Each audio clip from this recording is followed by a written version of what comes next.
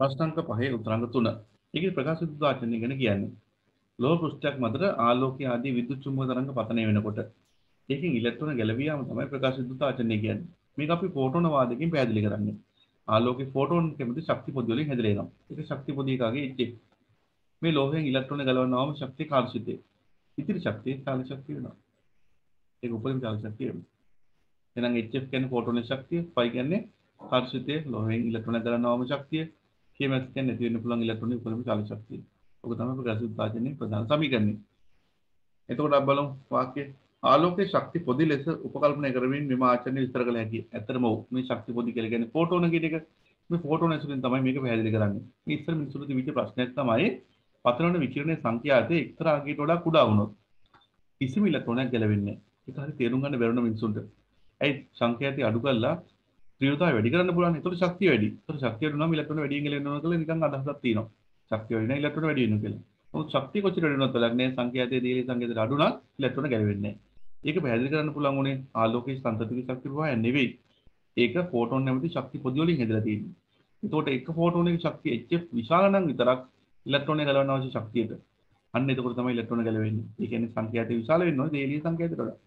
ඒ වුණොත් විතරයි ගැලවෙන්නේ. එහෙනම් ඒක පැහැදිලි කරන්නේ ශක්ති පොදි වශයෙන්. එහෙනම් ඒ හරියටම හරි එකක්.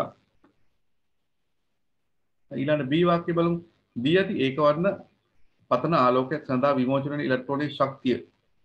ඒ කියන්නේ KMX ශක්තිය ද්‍රව්‍ය මත රඳා නොපවතී. බොරුනේ. ද්‍රව්‍ය මත රඳා පවතිනවානේ කාර්යසිතය කියන්නේ ඉලෙක්ට්‍රෝනයක් ගලවන්න අවශ්‍ය ආම ශක්තිය. ලෝහයකින් ඉලෙක්ට්‍රෝනයක් ගලවන්න අවශ්‍ය ආම ශක්තිය කාර්යසිතය වෙනවා. කාර්යසිතය මොකෝ වෙන්නේ? ලෝහය මත රඳා පවතිනවා. පොටෑසියම් නම් විනාගයක් 30 මීට අඩුයි. එතකොට ද්‍රව්‍ය මත රඳා පවතින ගුණයක්. එහෙනම් B වැරදි. C එක බලමු. කම්බි පතන ආලෝකයේ ත්‍රිවතාවය මත ඉලෙක්ට්‍රෝන විමෝචනය වී ශීඝ්‍රතාව නදා පවතී. පතන ආලෝකයේ ත්‍රිවතාවය. හැබැයි මේක චුට්ටක් එකතු කරන්න ඕනි.